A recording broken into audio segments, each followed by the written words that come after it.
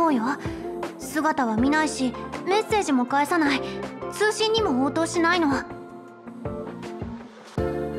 彼を連れ帰ってきてから今までこんなことはなかったわ。もちろんよ。でもアーランの行き先は監視映像でもわからなかったわ。監視システムはレギオンが侵入した時に破壊されてしまってまだ完全に復旧していないの。その盲点を突かれたのかもしれない。最後に連絡を取ってからもう13時間も経っているのよ。普段は13秒以内に返事をしてくれるのに。どうしても見つけることができなかったから防衛課の個人業務計画の記録を調べたの。そしたらこれを見つけたのよ。ほら最後の業務目標を見て。心に準ずる鏡と化す我を変えるって。すごく変だと思わない？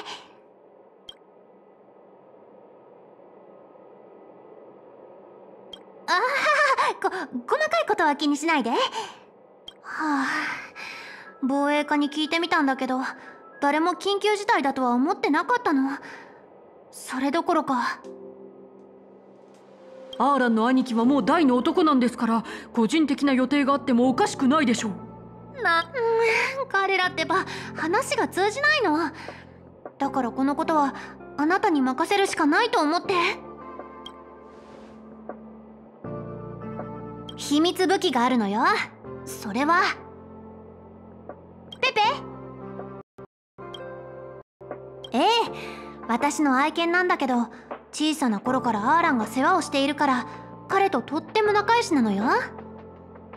ペペはアーランの匂いをよく知っているから彼を探し出すことができるかもしれないわ。一匹だけで行かせてペペも失踪したらどうするのよ。でも私がペペと一緒にこんなにたくさんいるスタッフの前でアーランを探したらどうなると絶対にダメよ。防衛課の責任者である彼が頼りなく思われちゃうじゃない。ペペを連れて出発しましょう。安心してペペは噛まないから。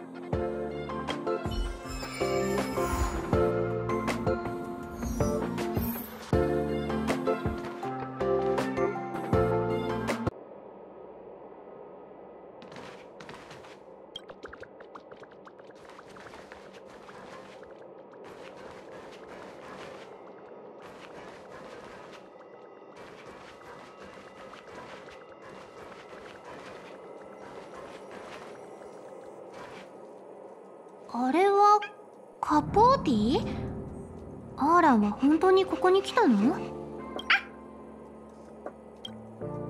変ね。どうしてあの人たらしのところに行ったのかしら？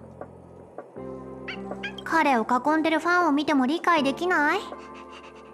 あれこそが宇宙ステーションのこのスタッフはすごい大会優勝者の実力なの。うーん。私が直接行くのはちょっと。カポーティから事情を聞くのはあなたに任せたわ。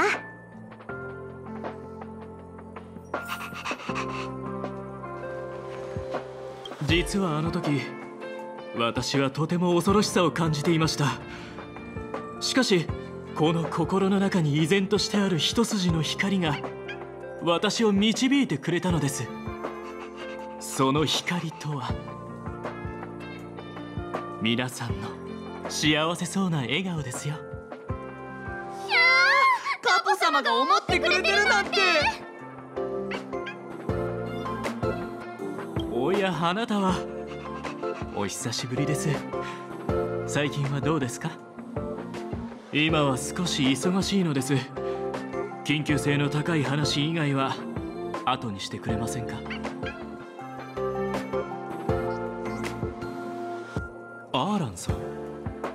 もちろん存じていますよ。宇宙ステーションにいる全ての人の心を照らすのが私の責務ですから。しかし彼が今どこにいるかまではお答えできなくて本当に申し訳ない。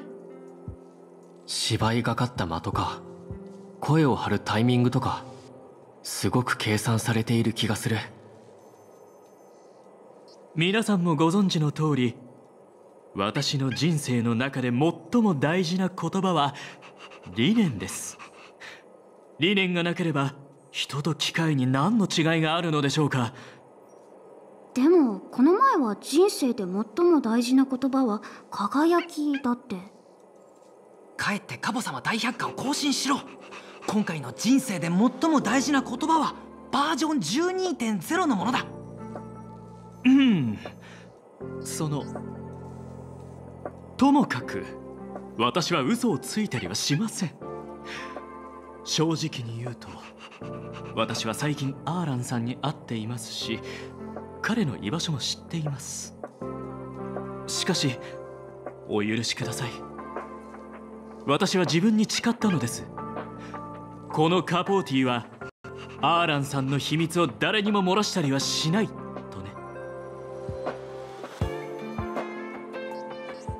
どうやら私の人となりをしっかりと理解したようですね。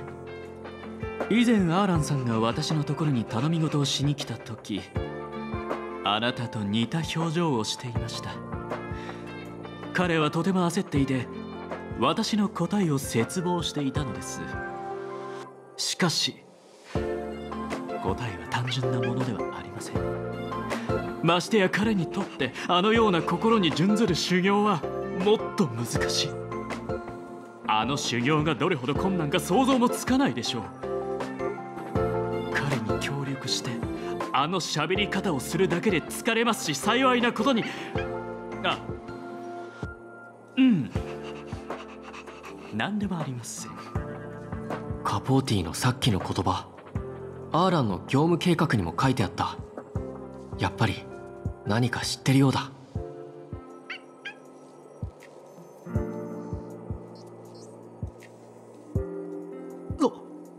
んなことは言ってませんよ。あなたの聞き間違いでは。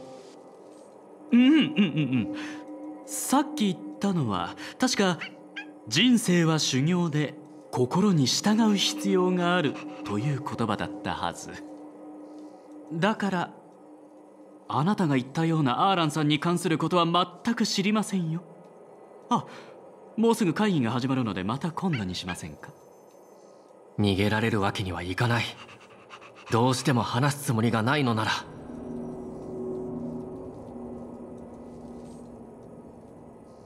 ななんてことを言うのですか。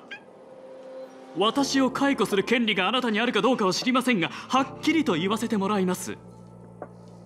今日アスター所長やミス・ヘルタが直接私に命令を下したとしても屈しません。解雇されたとしても構いませんよ。たとえ私の命を脅かすような真似をされても私は知らないと答えるでしょう。カポ様ああ素敵すぎる。カポ様のファンでよかった。アーランさんと約束をした時カポ様はさっきと全く同じ言葉を言っていたぞ。特に命を脅かすような真似をされても私は知らないと答えるでしょう。のブ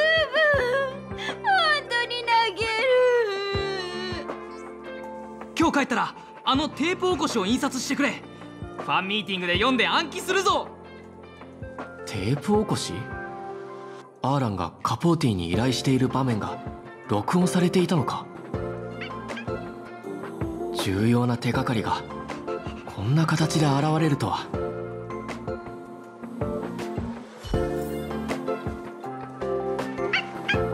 さっきテープ起こしのことを言ってたのはこの人だったはず。ちょっと。あなたってばさっきからずっとカポ様にあれこれ聞いてるけどファンクラブに入りたいの？その可能性はあるな。じゃないとアーランさんがカポ様のもとを訪れたことを知るはずがない。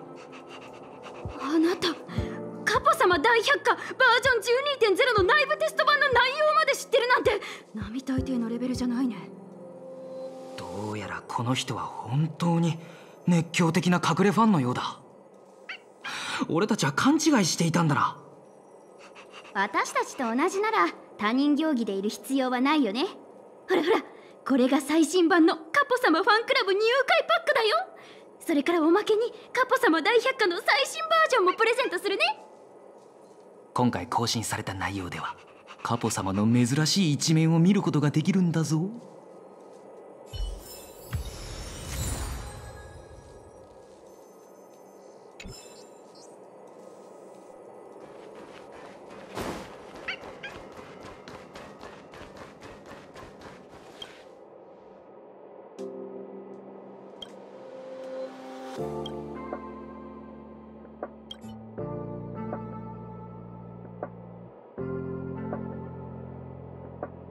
はあアーランは何を思ってあの口がよく回るカポーティに修行を手伝ってほしいとお願いしたのかしら？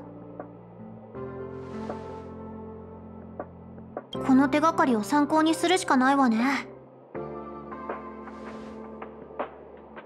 この筆跡見覚えがあるわね。アーランに似てる。美しく繊細な花ですら。苛烈な日差しには耐えられない。カポーティは永遠にあなたのそばで優しさと思いやりを与えよう。この少しねっとりとした感じ。確かにカポーティが描いたものに見えるわ。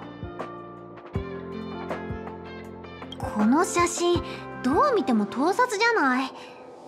でもカポーティ公認なのね。だって彼のサインがあるもの。写真に人影が映り込んでいるような。これはアーラン？ということはアーランは確かにカポーティに会いに行ったみたいね。これは動かぬ証拠よ。宇宙ステーションのハンドブックだってこんな頻度で更新しないけど。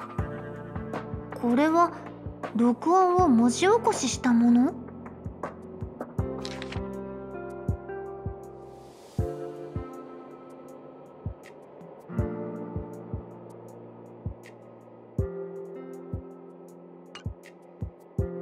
に準ずる修行って強気な上司とうまく付き合うためのものだったの？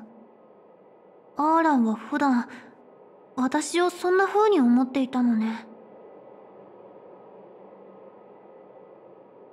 アーランとはしっかり話をしなきゃね。まずは彼を探しましょう。ペペ出番よ。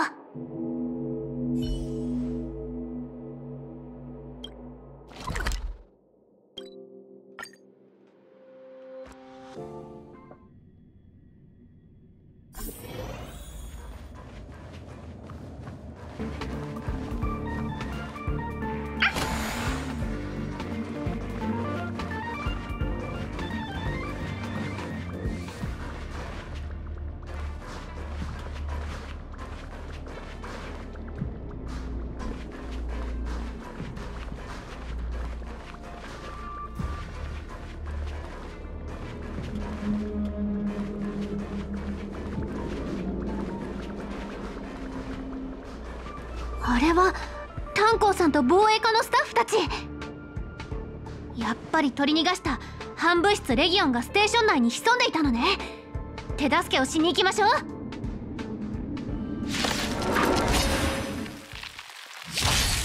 しつこい。いや。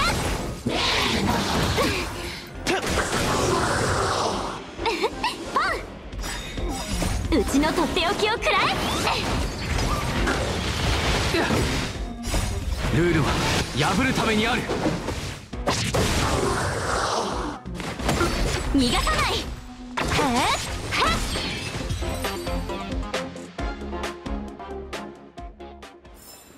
過ぎ去ったことは重要ではない。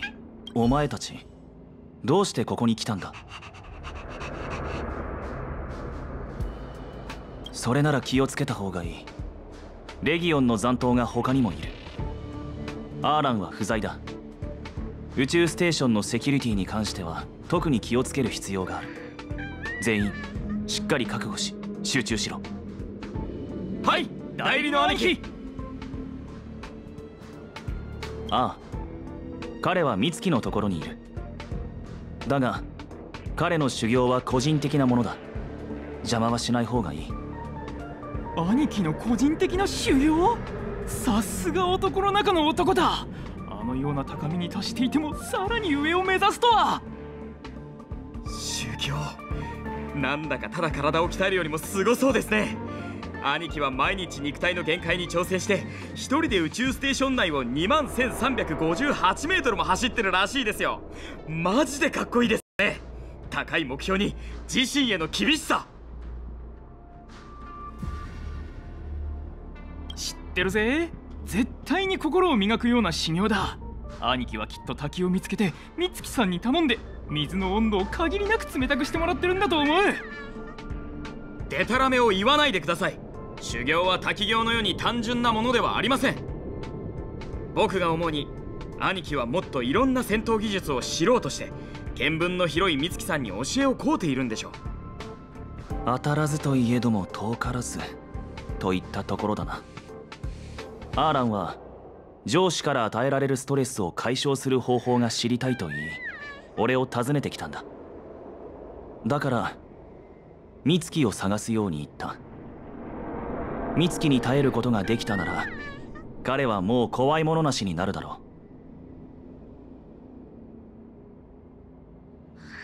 う。俺は逆に代理の兄貴は賢いと思うぞ。兄貴に弱点なんてほとんどないのにまだ上を目指してるなんてマジですごいですよね。俺はアーランと任務を交換したんだ。彼は美月と一緒に宇宙ステーションに出現した結晶の調査をしに行った。そして俺は彼の代わりに巡回をしている。というわけだ。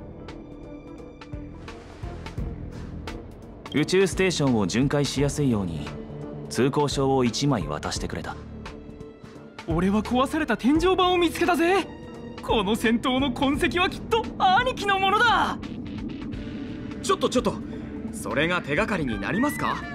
こっちの地面に残ってるものの方がよっぽどいいと思いますよ。この足跡を見てください。サイズも力の入り方も全部一致しています。これこそ兄貴が戦っていた証拠です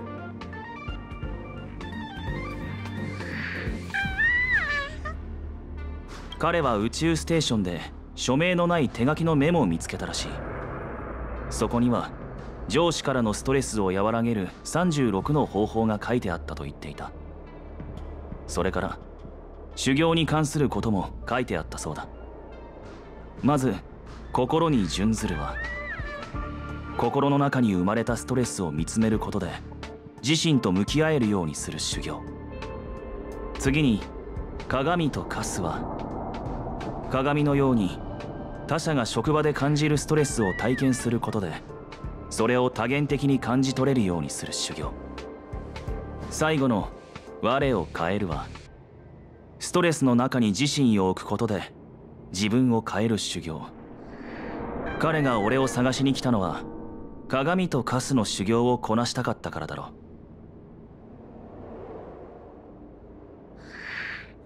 う。いや知らない。彼は言わなかったし俺も聞かなかった。自身を高めるのに理由が必要か？兄貴のことを全く理解してないんだな。兄貴は防衛家では強くて繊細だと知られています。彼の行動の目的を理解できないのならあなたはまだまだ物事を見る視点を養う必要があると言えます。兄貴は常に事態を未然に防ぐために行動している。さすが宇宙ステーションの冷酷な鷹防衛家のリーダー。アーランを探したいのなら美月に連絡をするといいだろ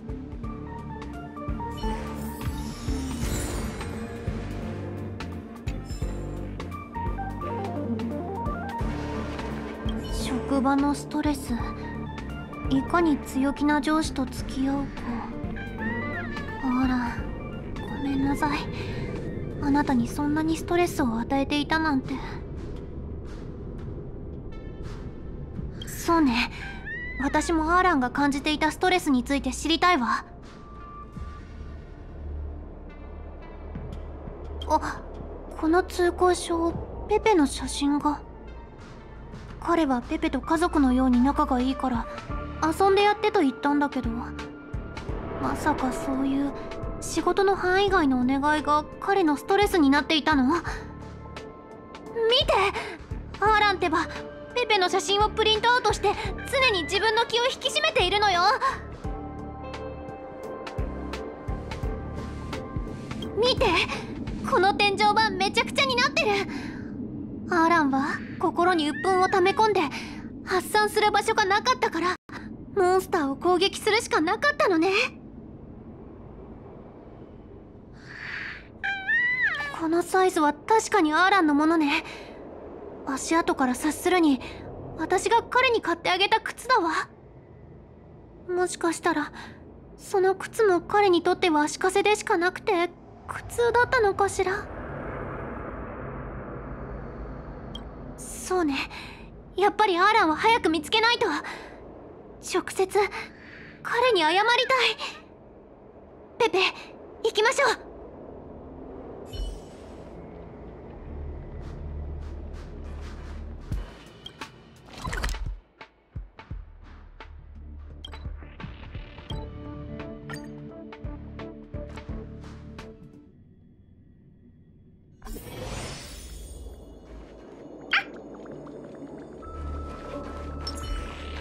写真を見せただけなのにペペにはナノの居場所がわかるのか。本当に匂いだけを頼りにしているんだろうか。か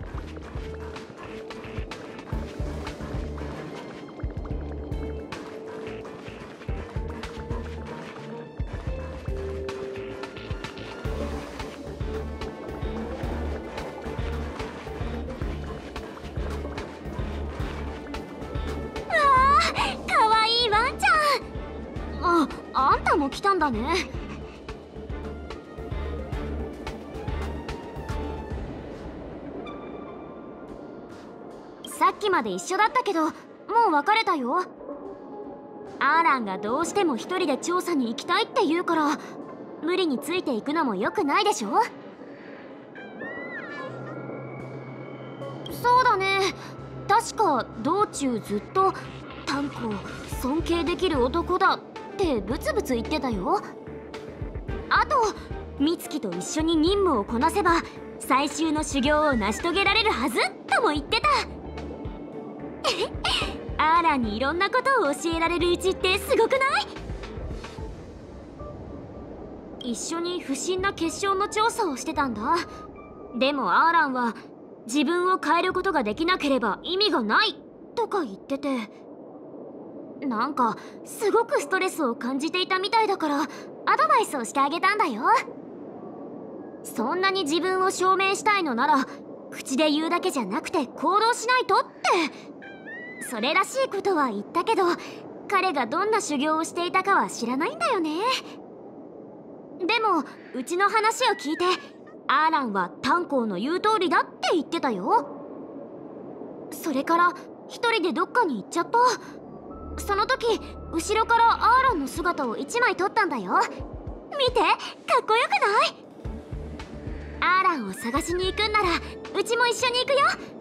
アーランを一人にするのは心配だし。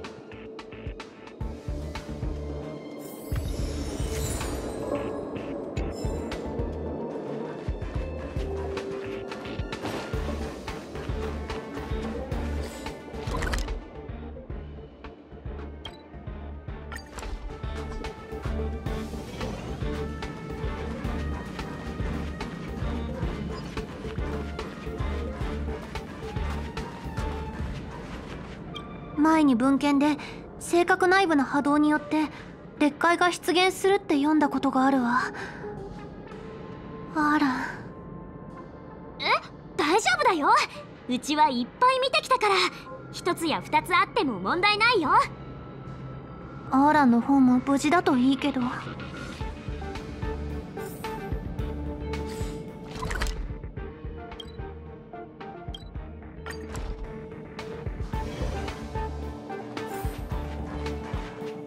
お嬢様。貴様たち。どうしてみんなで来たんだ？こいつは初めて見る。見た限り侵食を受けて変異した新たな個体だろ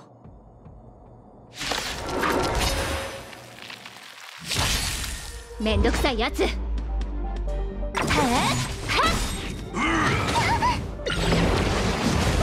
争いに意味はない今日と共に散れ。スターレイファントム、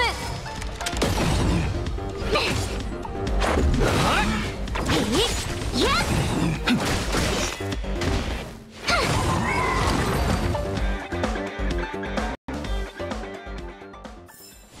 自分の意志で結末にたどり着いてみせる。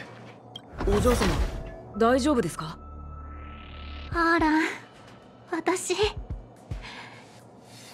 お嬢様？どうして泣いているのですか？怪我をされたのですか？ごめんなさい！は？全部私が悪いの！私が普段からストレスを与えてあなたを苦しめてしまっていた。しかもそのストレスを和らげるために専門的な文献まで調べていたなんて。本当に想像もしてなかったの。あなたにそれだけの負担を強いていたなんて。ご ごめんなさい。お嬢様俺はお嬢様に対してストレスを感じたことはありません。あらもうごまかさないで。あなたの今回の修行について彼と徹底的に調べたのよ。もしそれでも私の謝罪を受け入れる気がないのなら一つ一つのことに関して深く反省して私の決意を示すしかないわ。しかしお嬢様。まずあなたの心に準ずる修行。上司の心理を深く理解するために会話のシミュレーションに付き合ってもらうようカポーティにお願いしたのよね。証拠は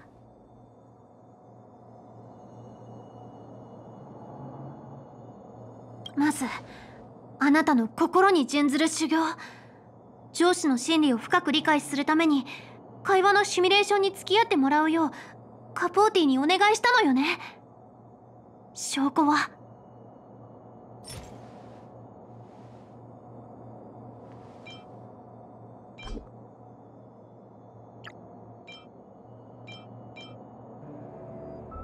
これが最も重要な証拠。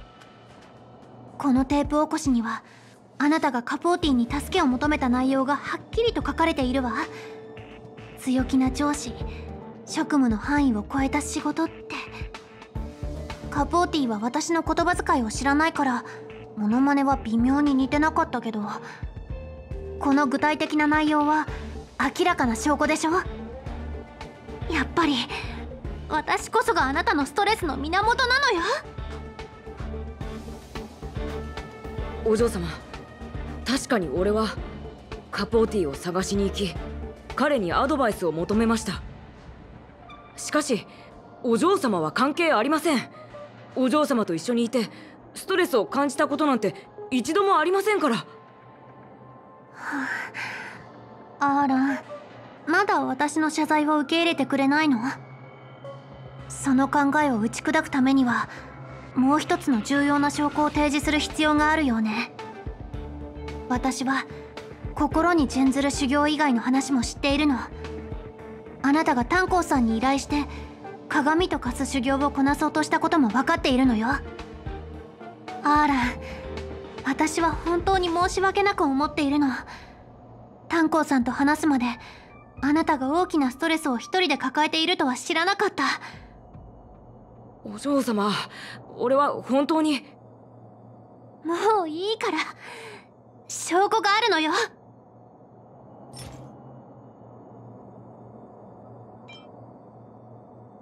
それがこの天井板よ。このえっと天井板はあなたが壊したものよね。すみません。必ず修理します。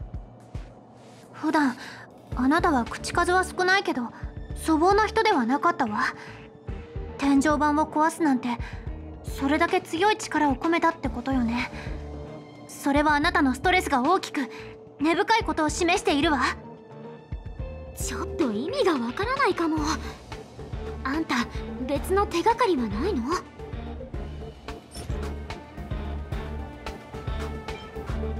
それがこの足跡よ。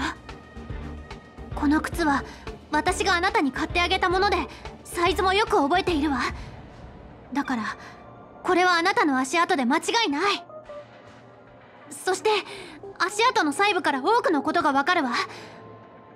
例えばえっと例えば力いっぱい踏みつけてできたものだってことか。相当なストレスを溜め込んでいたからこんなに力いっぱい踏みつけたんでしょ？無理やり理由を言ってるあんた別の手がかりはないの？重要な証拠はこれよ。これは普通の宇宙ステーションの通行証じゃないわ。これには非常に重要な写真が貼られている。それはペペの写真よ。お嬢様俺はペペが好きなので。いいえアーラン嘘をつく必要はないわ。もちろんあなたが自分に徹底的に言い聞かせて自身を完全に騙せているっていう可能性も排除しない。あなたとカポーティのシミュレーションの内容それから業務計画の記録に書いてあるペペと一緒に電子投影フリスビーで遊ぶという話。全ての証拠が表しているわ。ペペと遊ぶようにお願いしたことがあなたの一番のストレスになってるってね。あなたはペペの写真をプリントアウトして常に気を抜かないようにしている。この通行証を見るたびにあなたは自分に言い聞かせていたんでしょアーラン貴様は気合を入れてペペと遊ばないといけない。これはアスター所長からの依頼だから。もし彼女の前で間違いを犯したらきっと罰せられて苦しめられる。俺はそんなこと考えたこともありません。お嬢様。お嬢様俺の数々の修行はあなたとは無関係です。お嬢様からの任務は業務の範囲外であってもこなしてみせます。特にペペと一緒に遊ぶのはとても楽しいですし。うちもアーランは別にアスター所長に対して何の不満も抱いてないと思うよ。でもアーランの直属の上司は私だけ。私以外に誰がいるの？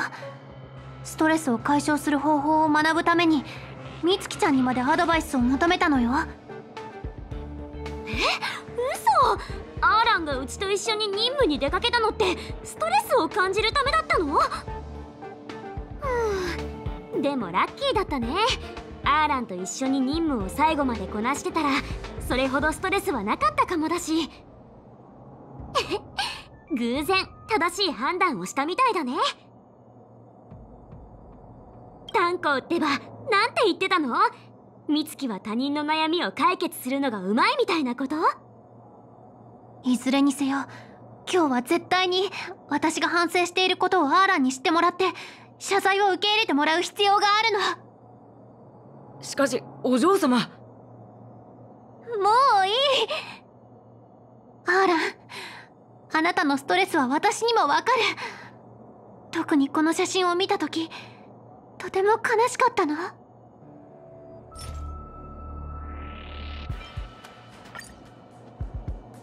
それってうちが撮った写真じゃん私はいつも任務や依頼をお願いしているのに戦場に向かうあなたを見届けたことはあまりにも少ない。この写真そしてさっき一人で戦っていたこと。あなたに大きなストレスを与えていて本当に申し訳なく思ってる。ただでさえ業務で忙しいあなたを私的な用事でさらに忙しくさせていたなんて。あら。本当にごめんなさい。お嬢様なんだかすごく感動しました。しかし俺が修行を始めた理由は実はミス・ヘルタにあるんです。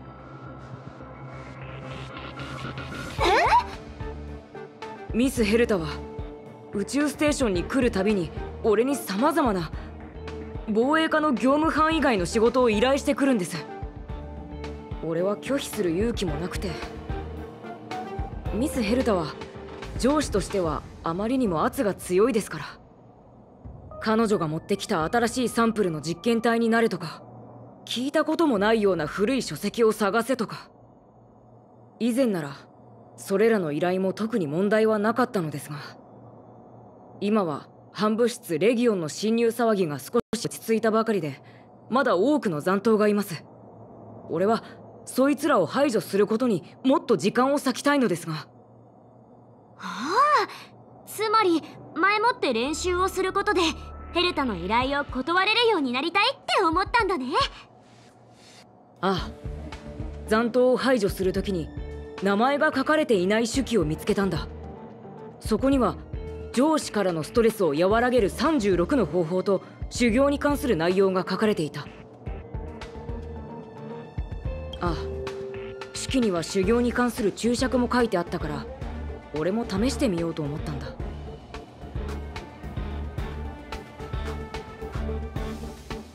申し訳ありませんお嬢様。つまり私はあなたにストレスを与えてはいなかったってこと？お嬢様に対してストレスを感じたことはありません。誤解が解けてよかったね。二人ともよく反省するんだよ。あんたもそう思うでしょ？そうそう。うちらの間では今回みたいな誤解は起きないもん。さっきから繰り返してるけど炭鉱は何て言ってたの？とにかくお嬢様と一緒に俺を探しに来てくれて感謝する。本当に感謝してるなら後でペペと一緒に電子投影フリスビーで遊ばせてよね。